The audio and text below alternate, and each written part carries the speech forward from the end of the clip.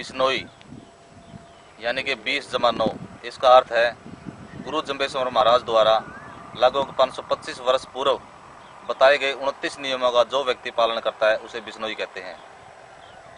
हरियाणा व राजस्थान के क्षेत्र में इस पंथ के काफ़ी लोग पाए जाते हैं। इन उनतीस नियमों में से एक महत्वपूर्ण नियम है, जीव हत्या ना करना। जीवों की रक्षा के लिए अपनी जान देने को भी तैयार हो जाते हैं।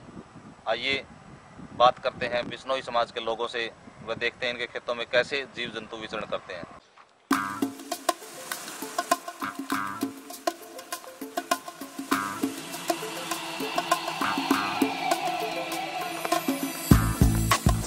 गुरु जम्बेश्वर भगवान ने विष्णु धर्म की स्थापना करी। जिसमें पंजाब, राजस्थान, हरियाणा, मध्य प्रदेश, उत्तर प्रदेश और दिल्ली के सिवा कई भागों में विष्णु रहते हैं।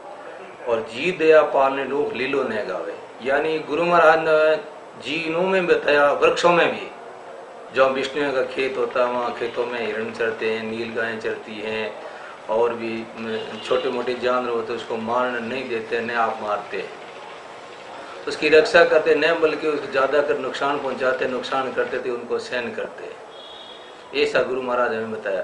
उन्होंने कहा, अगर जी को हत्या कर रहे हैं तो आप उसको वर्जो वर्जित करो उसे मना करो। अगर आपका मना करते हुए जीव को किसी प्रकार की हानि पहुंचाता है तो उसकी हानि उसके बदले आप ले सकते हो ऐसे हमारे गुरु ने फरमाया। है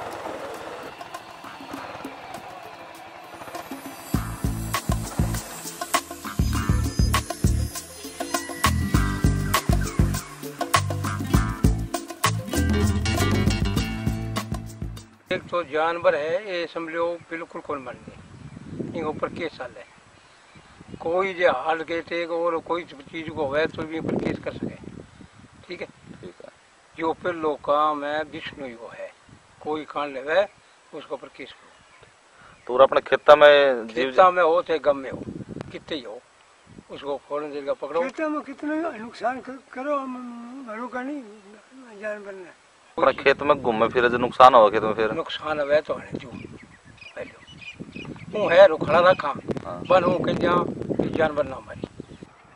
बिश्नोई समाज के लोगों की तरह हमारा भी फ़र्ज़ बनता है कि हम भी पर्यावरण का संतुलन बनाए रखें। हम सब प्रण लें जीवों की रक्षा का क्योंकि जीव जंतुओं की भी हमारी तरह दुनिया होती है उन्हें भी प्रकृति ने पैदा किया है। हम सबको प्रण लेना चाहिए कि बिश्नोइयों की तरह हम भी पर्यावरण व जीवों की रक्षा करेंगे। मैं सत्यवान वर्मा इंडिया अनहर्ड के लिए।